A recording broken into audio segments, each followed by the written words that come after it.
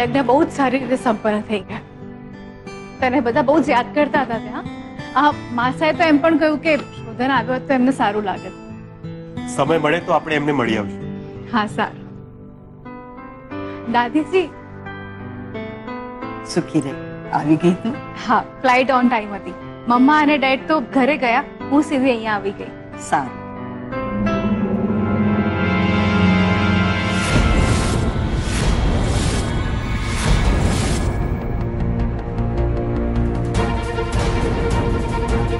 છોકરી હજુ સુધી આ ઘરમાં શું કરે છે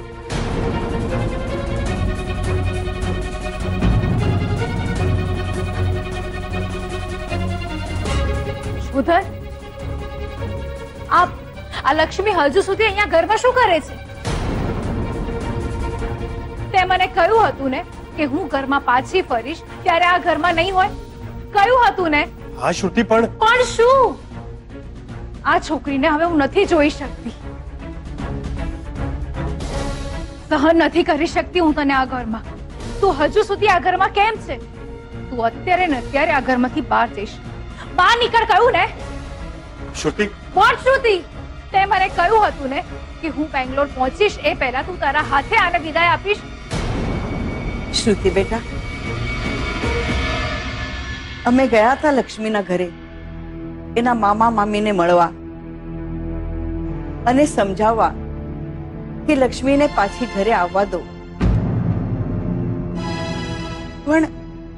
પણ એ લોકો માન્યા જ નહીં તો આપણે શું દાદીજી આખા ગામની જવાબદારી આપણે લઈ રાખી છે જવાબદારીની વાત નથી બેટા પણ પણ આ રીતે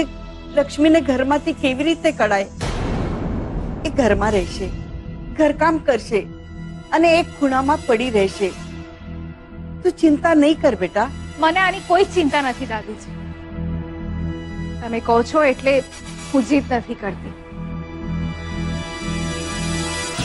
પણ એટલું જરૂર કહીશું આ લક્ષ્મી બને એટલી વહેલી આ ઘરમાંથી જાય એ જ સારું છે એના માટે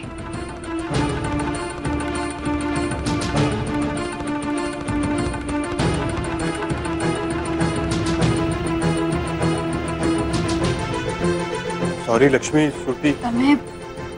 તમે મને નહીં શ્રુતિબેનને સમજાવો એમને મનાવો એ રિસાઈ ગયા છે